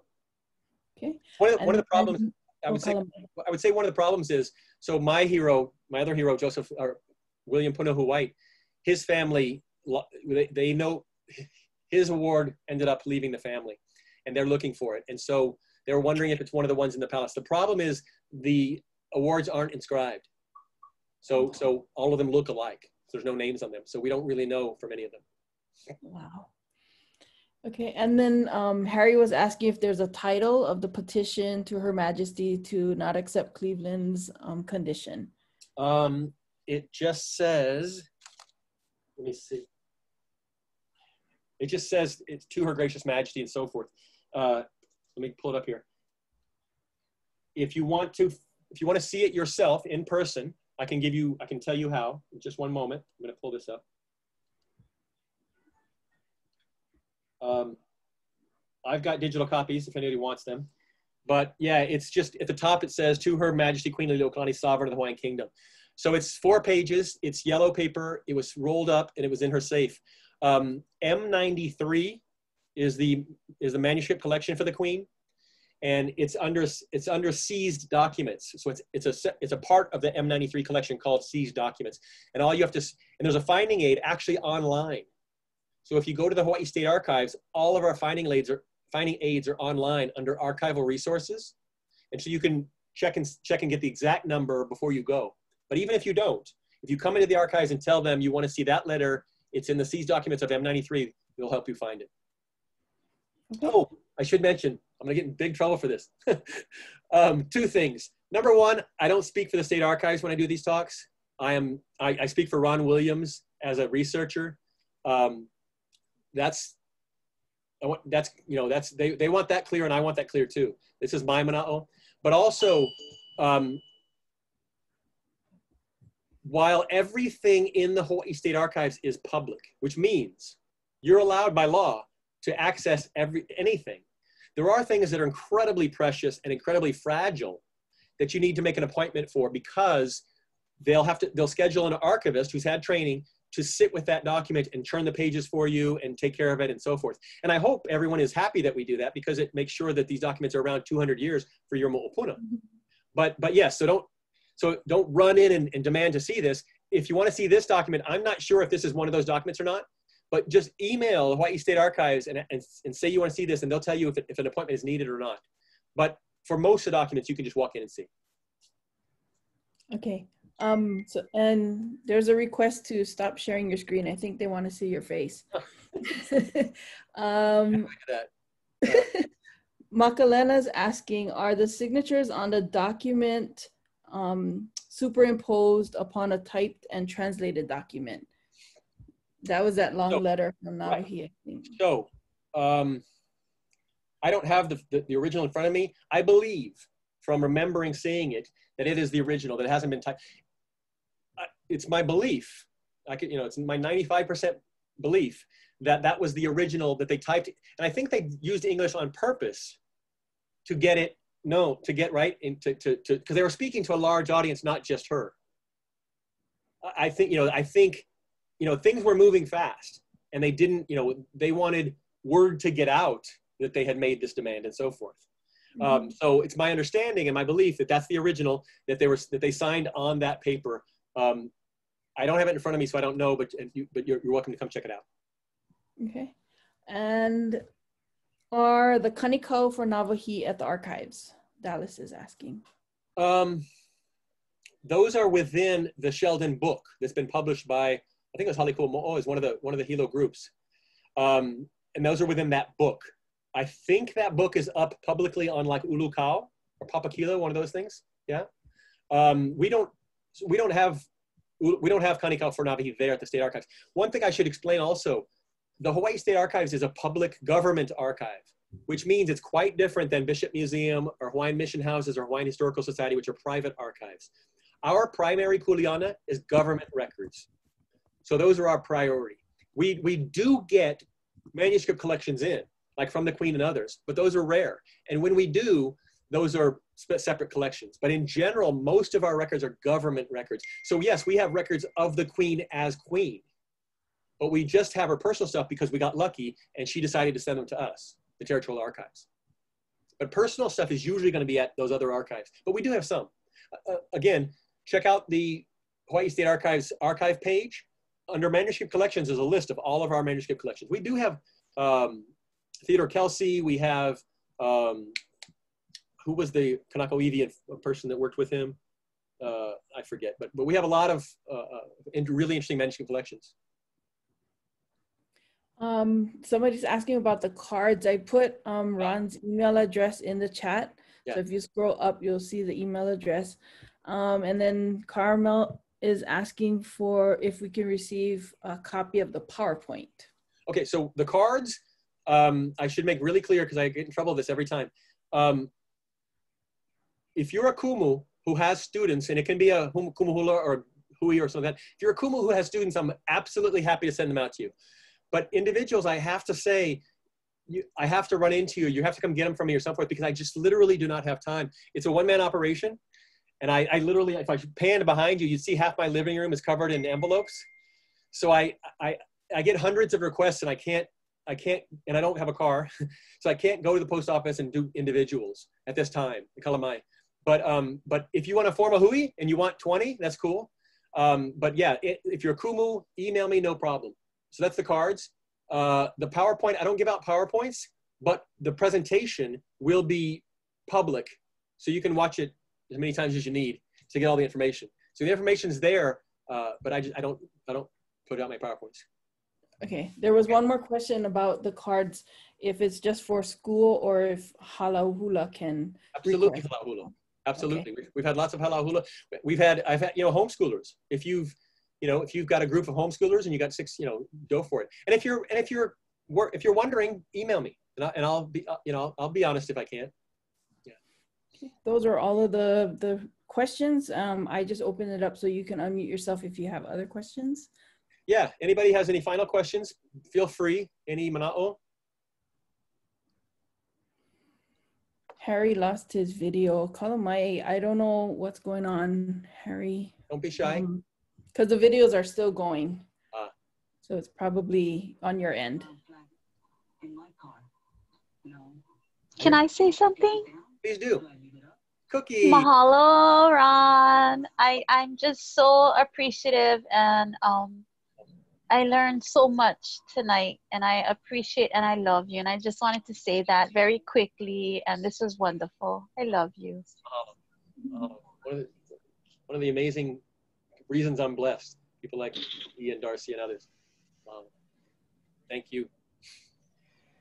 Ikumu, ma, uh, mahalo no kohana no kalahui no ke ia hoike. Ma, mahalo nui. Um, hini no ka'u. Um, are there any, you know, I, I, I find myself doing the best I can in, in, in my realm with my, my, my school and my, my haumana and the people who I have contact with. But um, because I'm isolated, you know, I, and it's partly just because, you know, pa'ahana, it's busy, yeah, but um, I'm wondering if there is a place that all of these, because I'm seeing the list of people, I just clicked on participants. There's so many people I admire that are on this on this Zoom, you know, and I'm wondering if there is a a, um, a place where people meet, you know, online or something for for these for these minds to get together. Because I would love to to brainstorm ways to claim more space. I I would love to be a part of that. At least be a part of the conversation. Aye, I know, great question and great idea. Um, I, I, don't, I don't do that myself. I don't run that myself, but I'm happy to be a small part of it. Uh, if anybody wants to, um, one thing I will mention, a couple of things. There's a group, uh, there's a group within the College of Ed that is, um, I'm speaking, I'm doing a couple of talks for that group coming up in January in a couple of weeks. And they're inviting teachers to, to come in and get resources and so forth. So as far as a resource, physical resource, there's one option. But as far as a mental and an EK, that's, yeah, I would, I would love to sit in, in a, in a group that was formed out of some of these folks too. So if you have a, you know, if, if you want to work with Darcy to create something, now I don't, I don't want to assume that anyone who joined this allows me to send their email out. Um, but if if we you want to work with Darcy to figure that out, I don't want to put work on Darcy either. But if if anybody here wants to say, hey, let's start this every Friday, then I'm I'm I'm up for being a part of that. Well, I, I, I would I would love to be a part of that as well. So um, I think uh, Darcy responded to an email earlier when we were trying to get on. So I'll just send her an email and, and, and see if she has ideas, and then we'll take it slow. No no no no not too much Kuleana on one person, but just to, to see if we can get something going. I think it'd be awesome. Sounds great. And, and don't forget, you know, email me or let me, or hit me up. Thank you, brother. Yeah.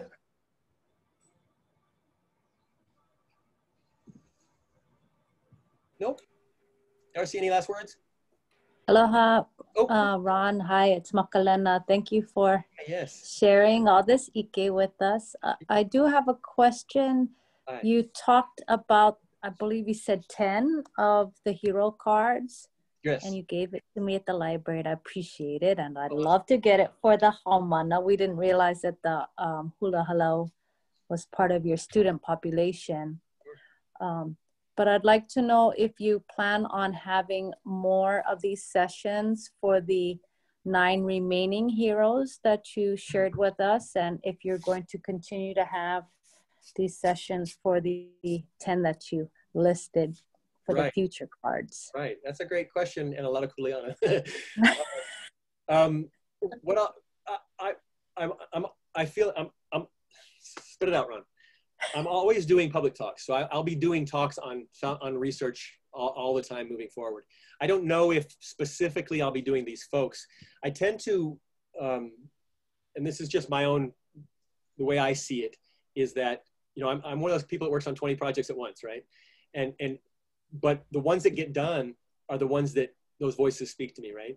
And, and you're, you're working, mm-hmm. that, that name keeps coming up in your research and keeps coming up. And it's like, obviously I'm supposed to work on this guy or this woman. So when that happens, I work on those folks. And so like, so right now moving in the next few months, I'm working on Timoteo, the Reverend, Reverend Timoteo. Um, but, but yeah, so, you know, if, you know, if these folks come up again, I'll be doing something specific on them.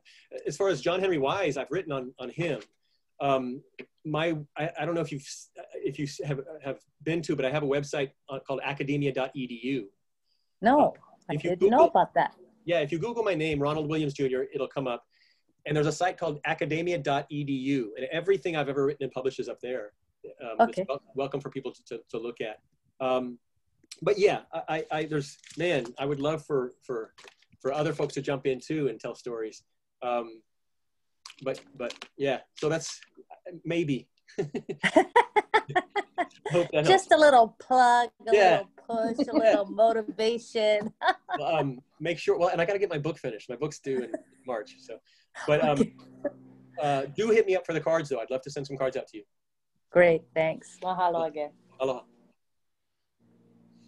Mahalo nui. Any other questions? Mana'o thank you guys for coming. Really. Spread the word about Nawahi. His birthday is on Tuesday, right? Is it Tuesday or Wednesday? Tuesday. Nine, ten, Just, just want to say I'm proud of you, Ron.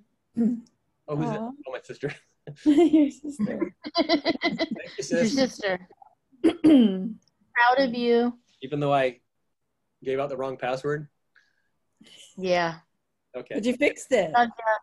Yeah, we'll see. I hope I hope nobody missed it because of that. Yeah. Well, mahalo. I just want to say, uh, mahalo nui loa from Portland, Oregon. I truly appreciate it. I learned a lot, and I hope to meet you someday when I come home. Hi. Appreciate it. I'd love to meet you. Aloha. Mahalo. Mahalo for spending your Saturday afternoon with us. Yeah. Yeah, What a patriot, yeah? What a, amazing. what a patriot. Okay, well, Okay. there's no more questions. Thank you so much, everyone. Have a beautiful, beautiful weekend. And celebrate Nawahi on the 13th. Okay. Aloha. Ahui Aloha. hopu. Aloha, hui ho. Mahalo nui. Mahalo.